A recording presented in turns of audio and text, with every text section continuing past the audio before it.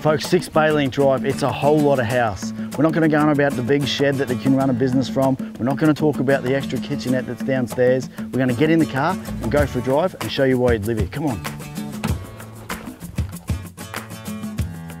Only 50 metres up the street, you've got a park. This is where they hold the neighbourhood Christmas parties.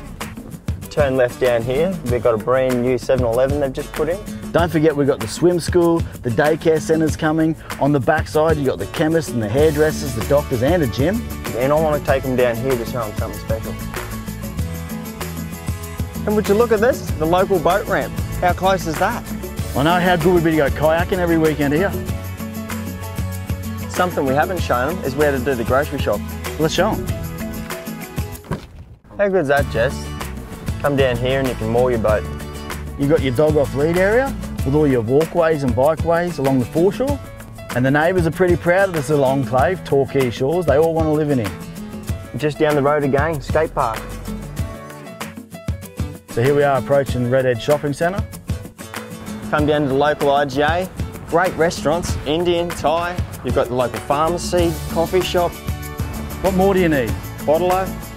Okay, you need the bottle. Look at the infrastructure, Jess. They continually improve this area. Which makes it even better for those residents moving in here. So there you have it. There's a snapshot of the area. It's a great lifestyle, only one street off the water, a huge home. Great opportunity. So if they're looking for a large home and a lifestyle to match, who are they going to call? Well, they're going to call us, aren't they? They are.